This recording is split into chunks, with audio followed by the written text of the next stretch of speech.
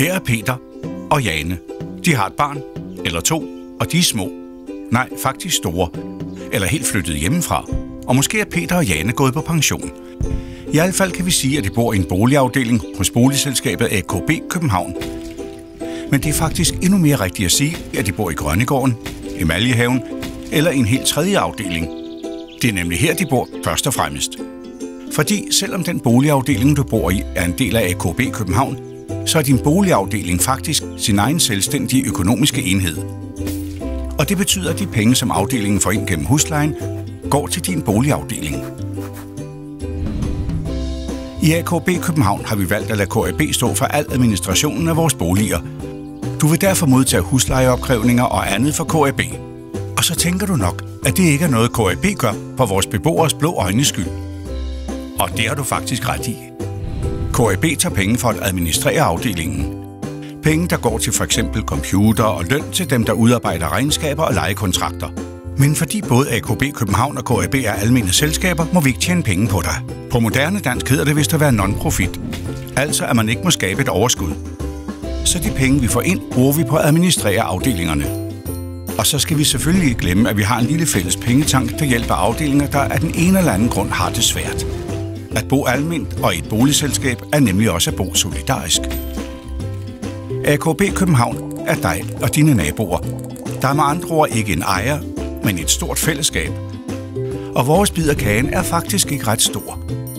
Faktisk er det langt de fleste penge i afdelingen, man selv har kontrol over. Men som man rigtig nok kan sige, så er det eneste sikre døden og skatter. Og desværre også hos os. Resten af budgettet i afdelingerne går nemlig til ejendomsskatter, forsikringer, afdrag på lån og andre faste udgifter. Og selvom vi prøver at holde huslejestigningerne fra døren, er det desværre ofte disse udgifter, som vi ikke kan påvirke, der stiger. Det er de dårlige nyheder. De gode nyheder er derimod, at du som beboer kan påvirke en del af budgettet.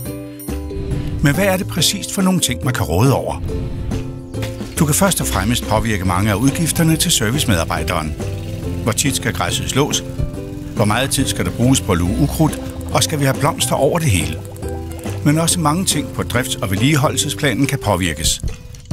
Skal der laves en legeplads om to år? Eller skal der bygges et beboerhus?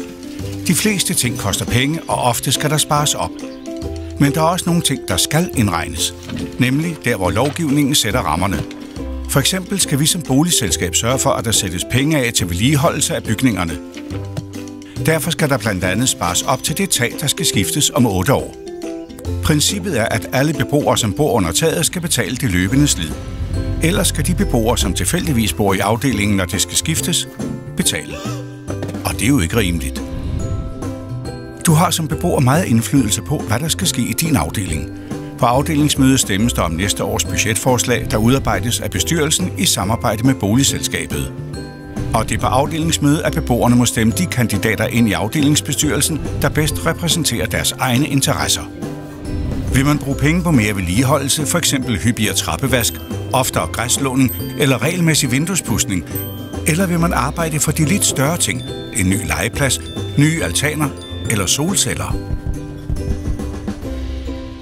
Vi bor nemlig sammen i vores boligafdeling, så vi skal i fællesskab beslutte, hvad vi prioriterer. Sådan fungerer økonomien, når man bor hos AKB København.